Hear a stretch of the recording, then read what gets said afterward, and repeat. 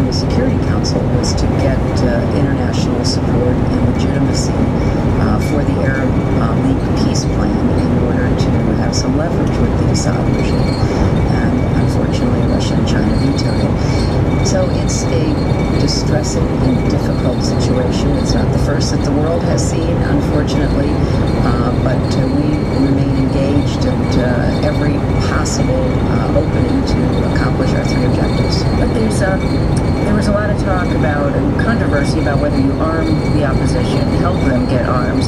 Is there anything the U.S. can do short of that? I mean, logistical support for the Free Syrian Army, satellite images to help them set up these humanitarian corridors.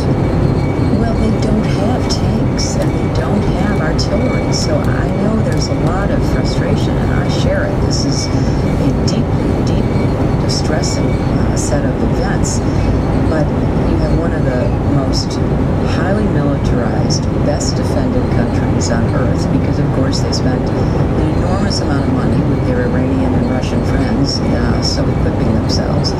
And even if you were to somehow smuggle in automatic weapons of some kind, you're not going to be very successful against tanks. And so the the dilemma is uh, how do we try to help people defend themselves?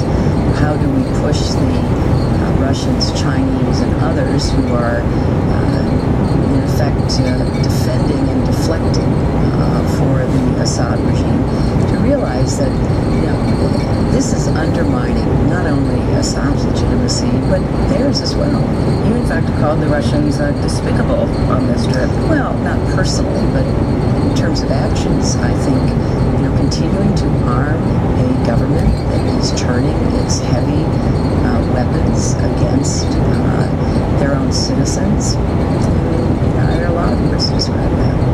That's the voice of Secretary Clinton speaking to NPR's Michele Kelemen at a hotel in Morocco at the end of her swing through North Africa. And to hear a longer version of that interview, you can go to our website, npr.org. And let's go next to Afghanistan, where a car bomb exploded outside a U.S. airbase today. The Taliban claimed responsibility attack, which killed nine people.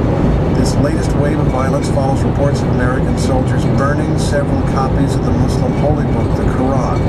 U.S. officials say the Qurans were burned because detainees were using them to spread radical messages, and President Obama apologized for what he called an accident, but the violent demonstrations in response have led to questions about whether this incident could even affect the pace of the American withdrawal from Afghanistan. Going to talk about this with NPR's Quil Lawrence. He's on the line from Kabul. Hi, Quil. Hi, Steve. There have been so many developments. Let's just run through them here. We had the Koran burnings. The news got out. What happened after that? Just walk us through the last several days.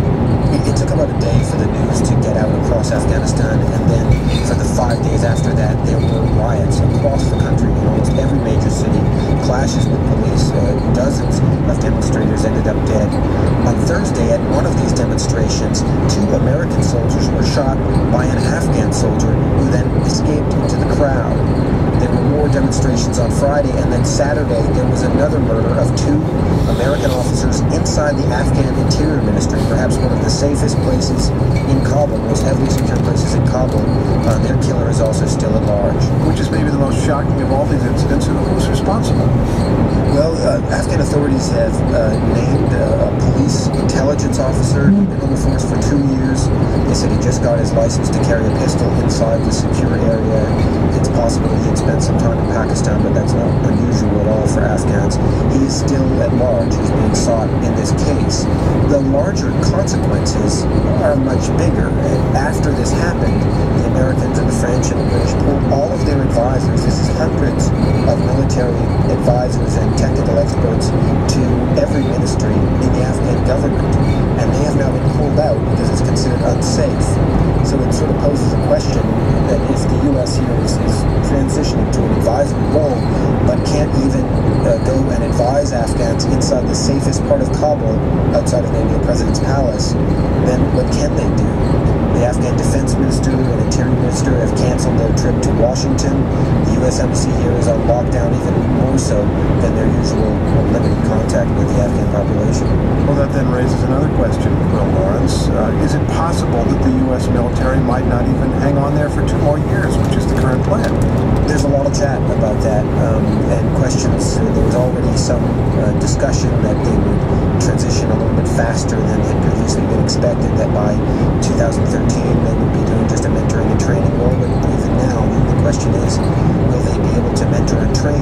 I think the Wall Street Journal reported today that 10 of the 58 coalition uh, deaths in action this year, 10 of them, they were killed by Afghan soldiers who turned their weapons on the men who were supposed to be training them. Well, let me ask about leading Afghan. You mentioned that maybe the last safe place in Afghanistan, a relatively safe place in Afghanistan, might be the presidential palace. What is President Hamid Karzai saying about all this? He, he finally came on television uh, and appealed for calm uh, yesterday, assured the Afghan people that the soldiers who burned the Qurans would be brought to justice. He mentioned several things about peace talks with the Taliban.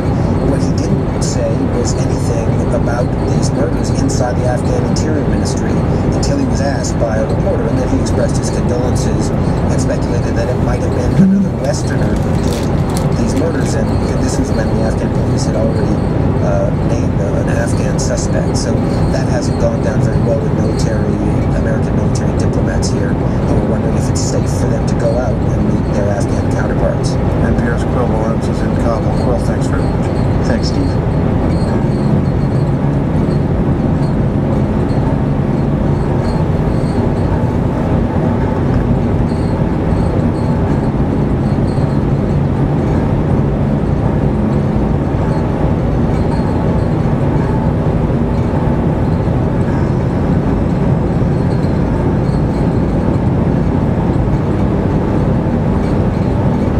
It's Morning Edition from NPR News. Do you ever feel like you're drowning in the sea of hyperbole? Are you looking from the daily media deluge? I'm Robert Siegel. At All Things Considered, we keep our cool as those noisy waters rise and fall around us. And when all the shouting subsides, we're always here, your trusted source for unbiased news. All Things Considered from NPR News. Less tempest, more tea party.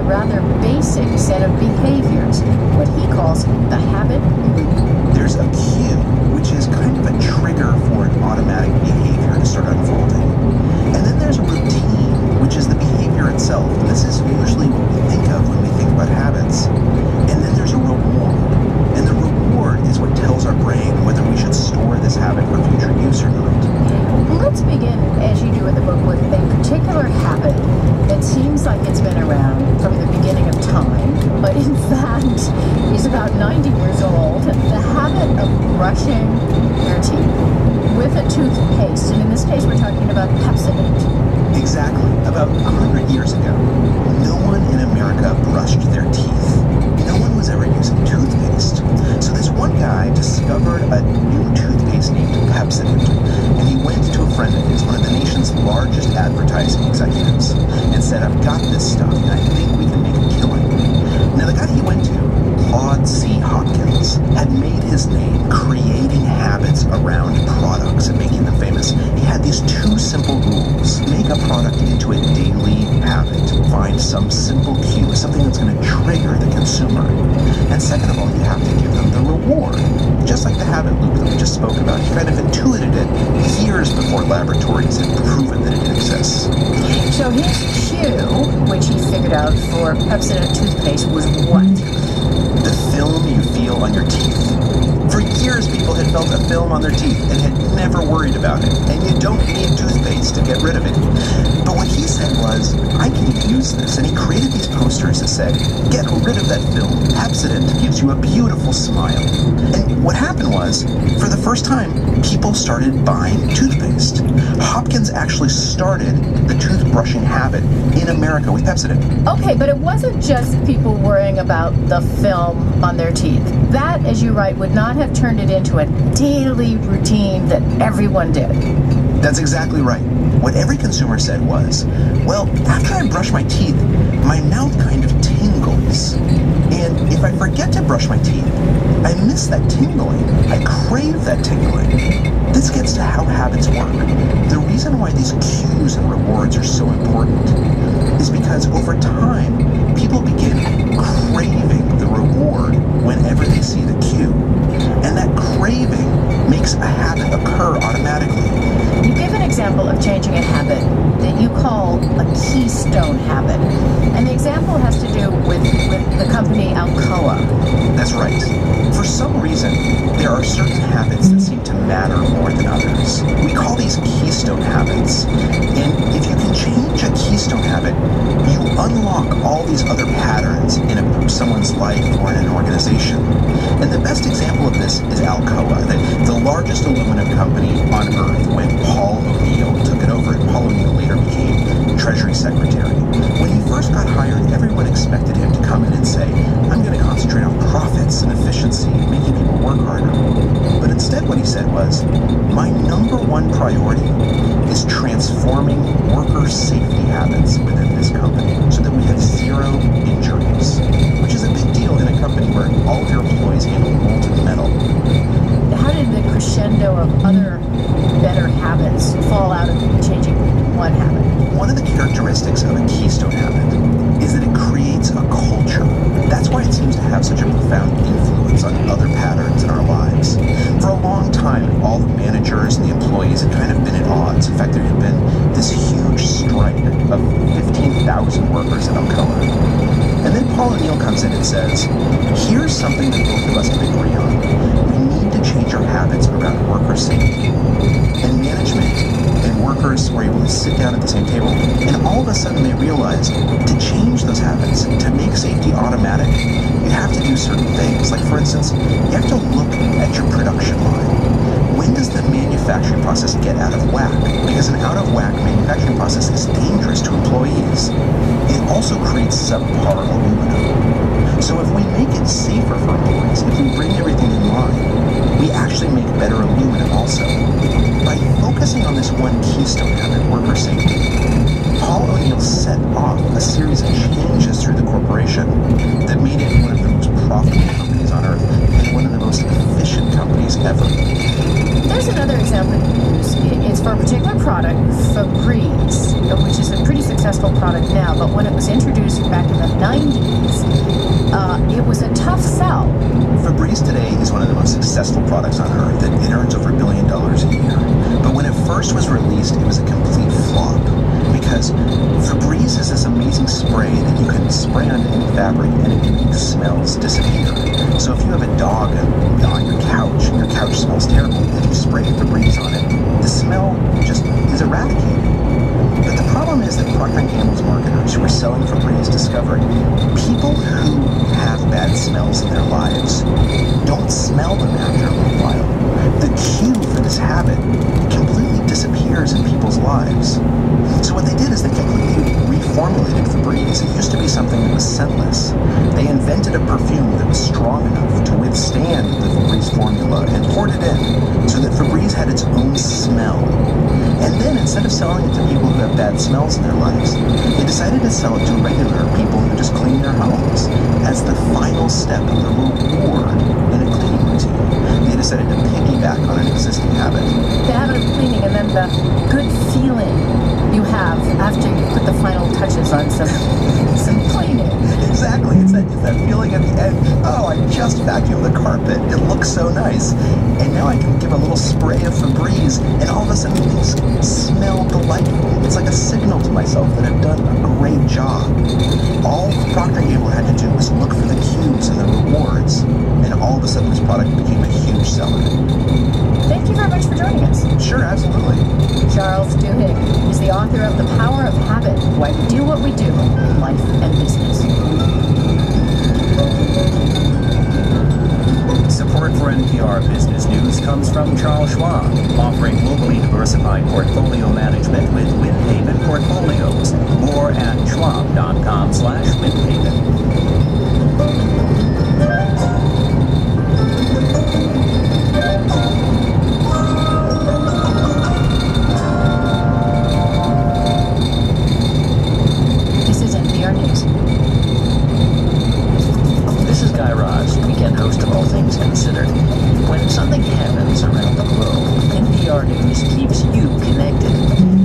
Satisfied with just hearing about a news event. Find out why it happened. At NPR, we break the news and we put it back together for you.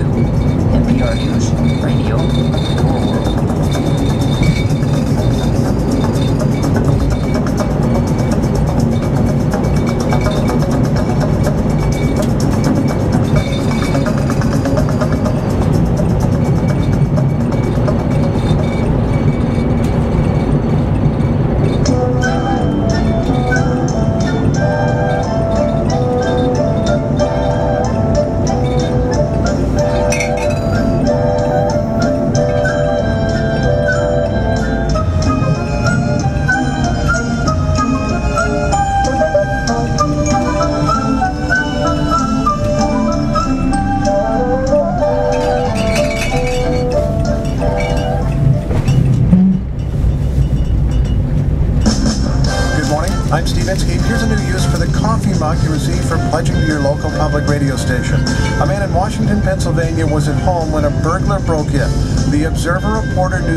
Says the thief and the homeowner struggled. The thief pulled out a knife, so the homeowner pulled out a ceramic coffee mug and smacked him over the head. Police are now looking for a suspect with a gash on his forehead, and let's hope that the homeowner also managed to have a second cup of coffee. It's Morning Edition. From NPR News in Washington, I'm Jeanine Herbst. At least nine people are dead, six others wounded after a suicide car bomb went off at the gates of the Jalalabad airport in eastern Afghanistan. Taliban claimed responsibility for the attack, saying it was revenge for the burning of a Muslim holy book on a U.S. military base. The explosion comes after nearly a week of deadly protests in Afghanistan over those burnings. More than 30 people have been killed in the violence, including four U.S. soldiers. The silent film The Artist won five Academy Awards at the Oscars in Hollywood last night, including Best Picture. Became the first silent film to win an award since the original Oscar ceremony 83 years ago. Its star, Jean Dujardin, won Best Actor. Meryl Streep took home a statue for Best Actress in Iron Lady. my friends, thank you, all of you, departed and and here for this, you know, inexplicably wonderful career. Thank you so much. Thank you. And Octavia Spencer won Best Supporting Actress for The Help. Christopher Plummer took home an award for Best Supporting Actor for Beginners. Now, at 82, he's the oldest person ever to win an Oscar. Republican presidential candidates continue their march through Michigan as Tuesday's pri- presidential primary approaches. Michigan Public Radio's Rick Pluta reports. Bobby Schostak is the Michigan Republican chairman. He says people are now looking to the GOP hopefuls to wrap up their Michigan campaigns by shifting the argument from which one is the most conservative to what they would do if elected president. Show me someone that's not